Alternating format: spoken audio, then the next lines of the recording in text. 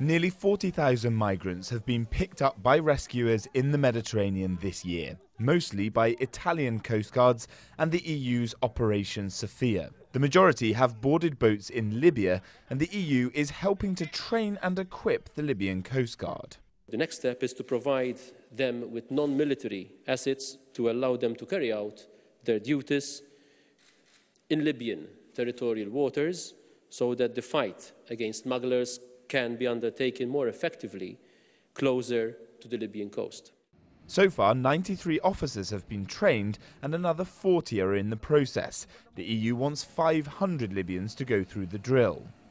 Meanwhile, Tripoli is waiting for a response from the bloc on a so called shopping list of equipment it wants Brussels to pay for.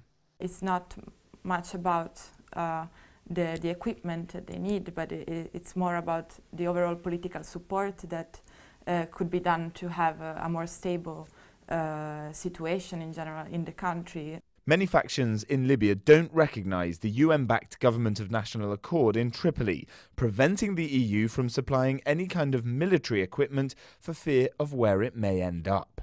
Getting Coast Guard patrols into Libyan waters will almost certainly mean a decrease in the number of people reaching European shores, but NGOs are concerned it'll mean thousands of migrants are stuck in an unstable Libya, where there are regular reports of human rights abuses with no safe routes out. Jack Parrock, CGTN, Brussels.